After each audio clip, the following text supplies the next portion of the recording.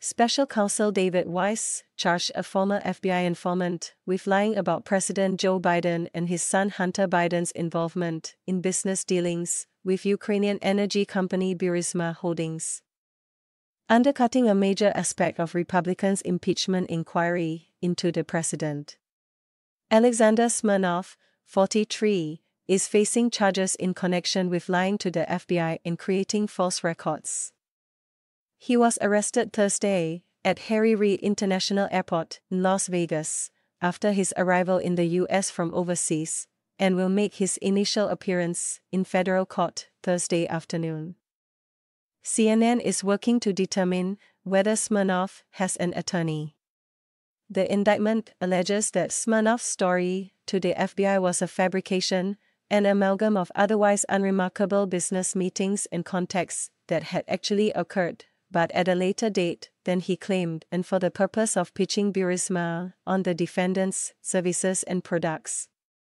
Not for discussing bribes to Joe Biden when he was in office. Congressional Republicans have championed Smirnov's now discredited allegations for roughly a year, though not by name. They fought with the FBI to obtain memos about what Smirnov told investigators and publicly released the materials over the FBI's objections. The congressional Republicans repeatedly praised Smirnov as credible and put his uncorroborated claims front and center in their impeachment inquiry into the president. While announcing the impeachment inquiry, then House Speaker Kevin McCarthy said a trusted FBI informant has alleged a bribe to the Biden family. The FBI is now using some of the same memos that congressional Republicans released as part of their indictment against Smirnov. For months, we have warned that Republicans have built their conspiracies about Hunter and his family on lies told by people with political agendas, not facts, said Abbe Lowell. Hunter Biden's lawyer, in a statement to CNN. We were right and the air is out of their balloon. This is just another instance of Chairman Comer and Jordan peddling falsehoods based on dishonest, uncredible allegations and witnesses, he added. House Oversight Chair James Comer said in a Thursday statement to CNN that his investigation into the president does not revolve around Smirnov or his claims made in the FD 1023 a form the FBI uses to memorialize information gathered from confidential sources that Republican legislators have cited. To be clear, the impeachment inquiry is not reliant on the FBI's FD 1023. It is based on a large record of evidence, including bank records and witness testimony, revealing that Joe Biden knew of and participated in his family's business dealings. The Kentucky Republicans said. He said the FBI had previously defended Smirnov's credibility.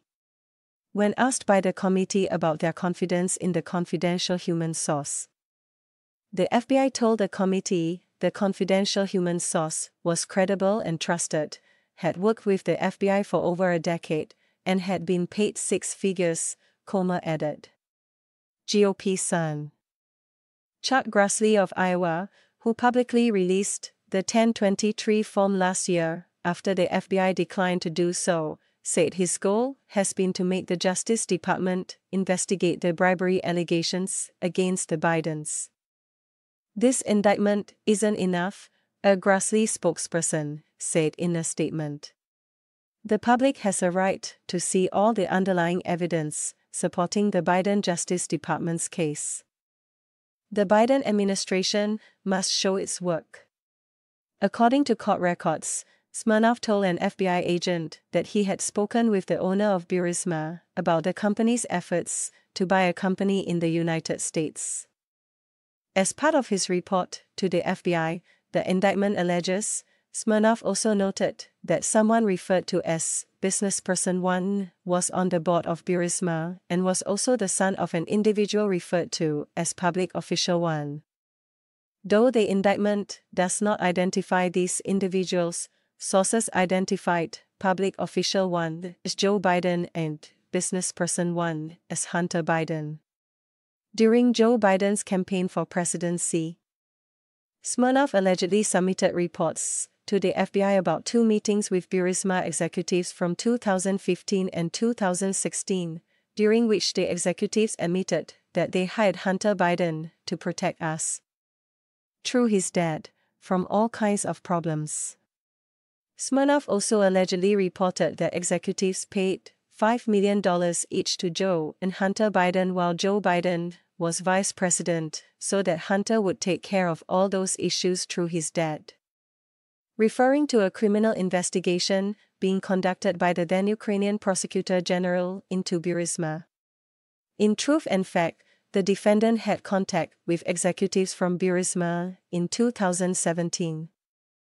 After the end of the Obama Biden administration and after the then Ukrainian prosecutor general had been fired in February 2016, in other words, when Joe Biden had no ability to influence U.S. policy and when the prosecutor general was no longer in office, the indictment states.